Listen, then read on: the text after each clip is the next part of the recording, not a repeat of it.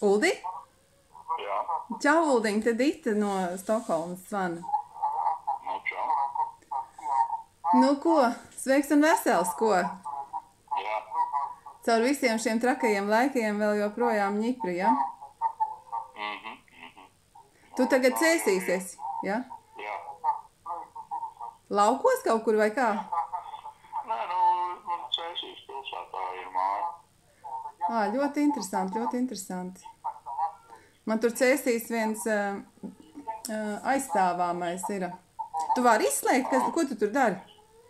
Es piedalos konferencē. Ā, tad tu esi oficiāls uh, dalībnieks, ja? Kas tā ir pa konferenci? Nu, dar, nu, darba sapulcs patiesībā. Es tā kā viņa grib ar vienu ausu klausīties. Ā, nu davai. Kas zvanīt uz pēcpusdienu kaut kad. Nē, nē, bet bet mēs varam 5 minūtes parunāt arī, ja? Nu, runā, jā. Davai. Uh, tu joprojām strādā, vārdu sakot, ja? Jā.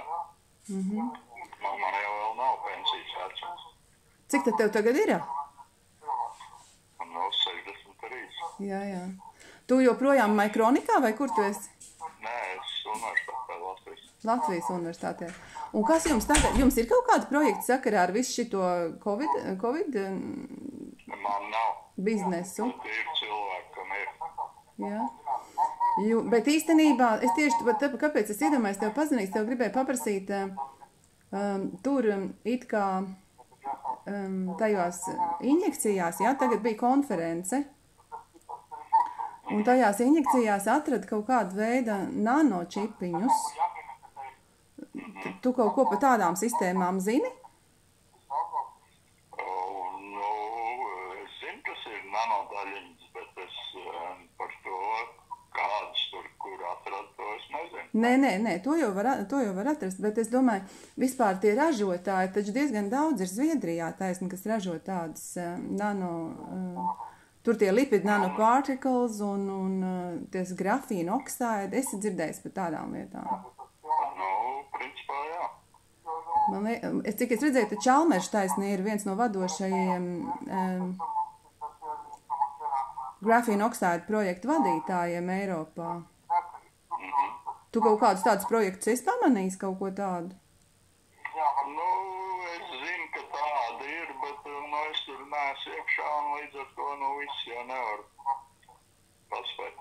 Bet nu, tas Micronics, kā tu man vienreiz teici, tu, tu teici, ka viņi taisa kaut kādas mašīnas, taisni, kas taisa tos uh, nano daļiņas. tas ir pavisam cits, tas ir pavisam cits. Un kas tas ir? Ko, ta, ko viņi dara?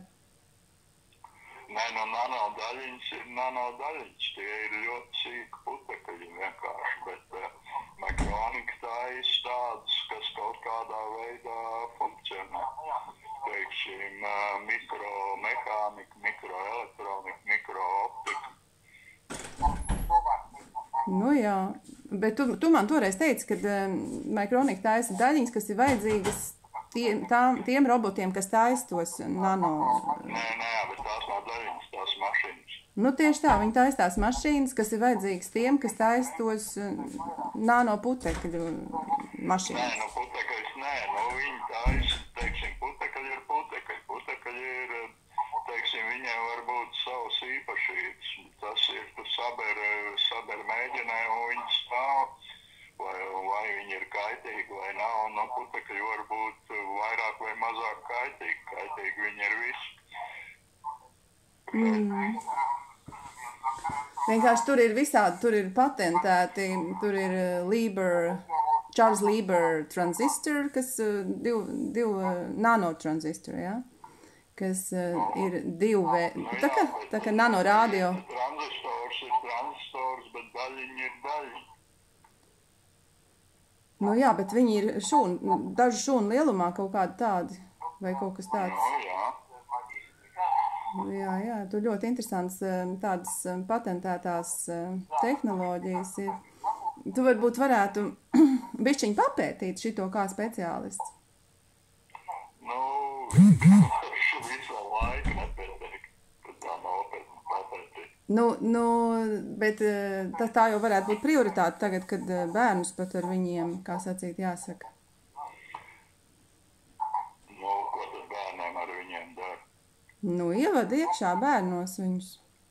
Nu, bet viņš taču saprot, no kāda, uh, nu, teiksim, ar indi tu vari indēt, ar, ar putekļiem tu vari indēt, viss ir jāsaliek. Nu, tas jau nav tik vienkārši. Nu, protams, tas ir, Jā, un viss sāk strādāt. Nu, Ja, tā- Protams, tas ir liels eksperiments. Bet nu, viņš jau ir nelikumīgs.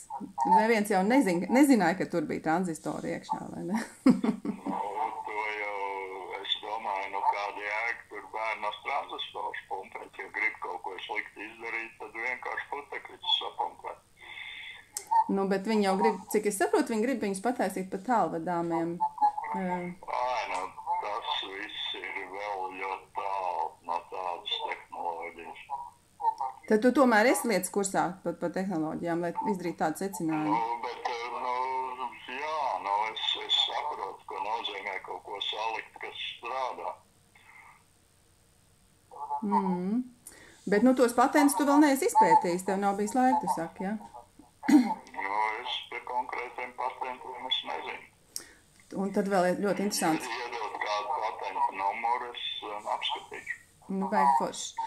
Vārds sakot, es atradu vēl vienu kolosālu. Tu ieeji bie, eh, biežāk manā draugos, lab, Dita Rietumu profilā, jā. Tur man ir eh, ļoti interesantas lietas sapublicēts. Un pēdējais interesantais, es zinu, kas. Tas, kad um, jau 13. gadā Amerikā bija Supreme Court lēmums, ka cilvēki, kuriem ir izmainīti ar mRNA izmainīti gēni, nu nē, tur nebija par cilvēkiem runa, bet vispār par tiem, kam ir ar mRNA izmainīti gēni, tie vairs tehniski neskaitās cilvēki. Tāds tiesas lēmums, un iespējams, nu, un, un tas, kurš ir iz, izma, ar šo tehnoloģiju izmainījis viņu ģenētiku, iespējams, tad var um, nu, piesavināties īpašuma tiesības uz šo jauno ģenētiku, kura ir izveidota cilvēkā. Ja?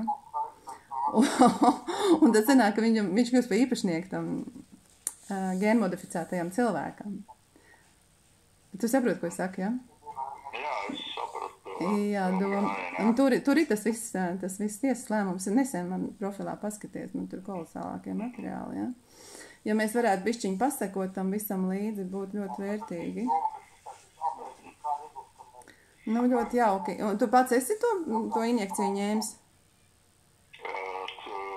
Vak, vakcīnu pret covid, tu domā? Nu, to, ko viņi sauc par vakcīnu, bet kur nav vakcīna. Jā, Kur, kuru tu paņēmi?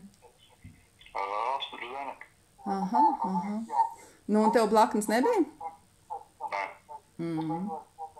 Tad, cik es saprotu, tu savu ģimeni arī ne, nemēģināji, nemēģināji apstādināt to darīt. Ja? Nē. Es, teiksim, nu, vakcīna ir vakcīna, tā ir par citu lietu. Nē, nē, šitās nav vakcīnas. Šitās nav vakcīnas. Šitas, šitas nekad nav izmantots pret cilvēkiem mRNA. eh, Bet, nu labi, AstraZeneca nav mRNA, vai ne? Vai ir? AstraZeneca nav M mRNA tehnoloģija, vai ir? Kā tur bija? Ā, es taču īsti ne, ne, nezinu. Pa lielam es nesa, īsti, īsti nesaprotu, kā, kas ir tā tehnoloģija un kā tas strādā. Wow, saulīt, tu mums esi profesors, un tu, tu pats par sevi pat neparūpējies. Paskatīties. Nu, redzi, Dita, lai to saprastu, tur ir kaut kāds divus gadus jāstudē mikrobioloģija. Tas, kā uz bildītes uzzīmē vienu bumbiņu ar pīķīšiem, tas jau nepalīdz saprast.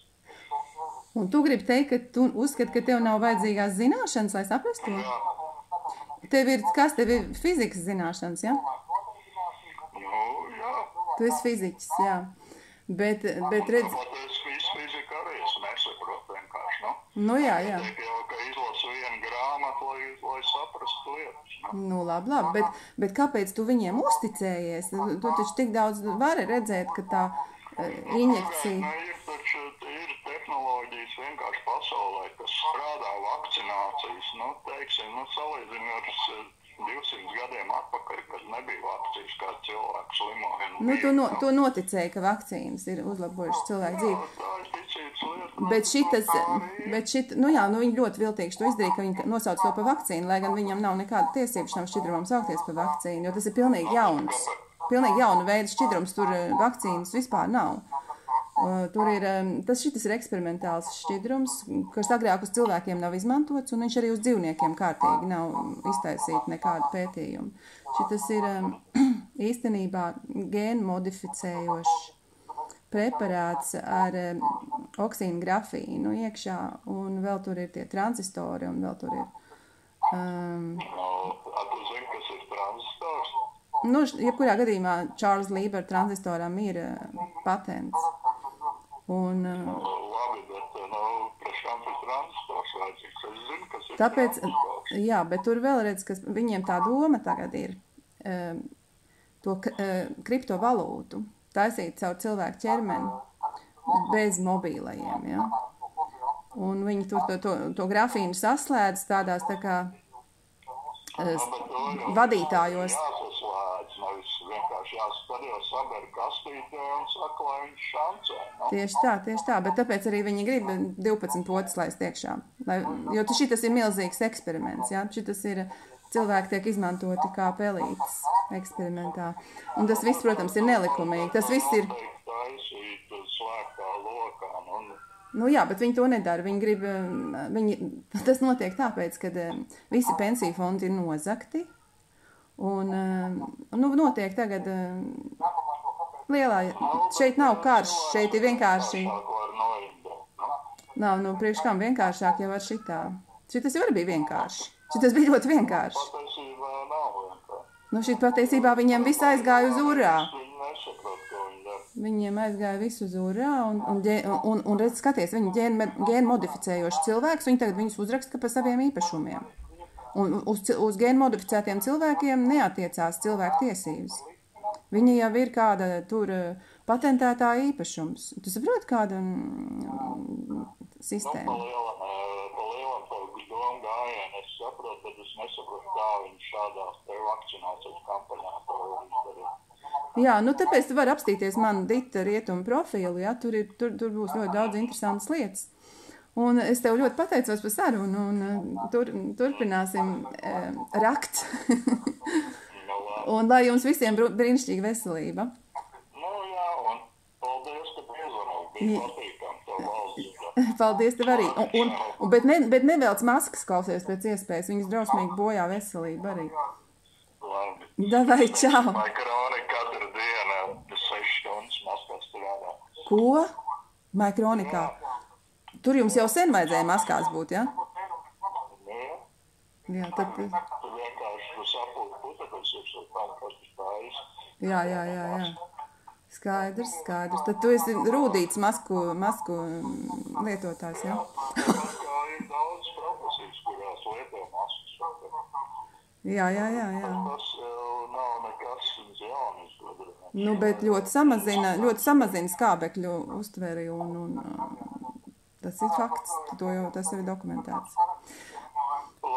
Un tas var arī pa, pa, pa, pa, nu, pavieglināt to procesu, ja? Tas padevības process arī notiek caur maskām. Tas arī ir ap, apstiprināts. Ir, ir varianti. Labi, mīļi, vai cīnāmies tālāk. Čau, čau!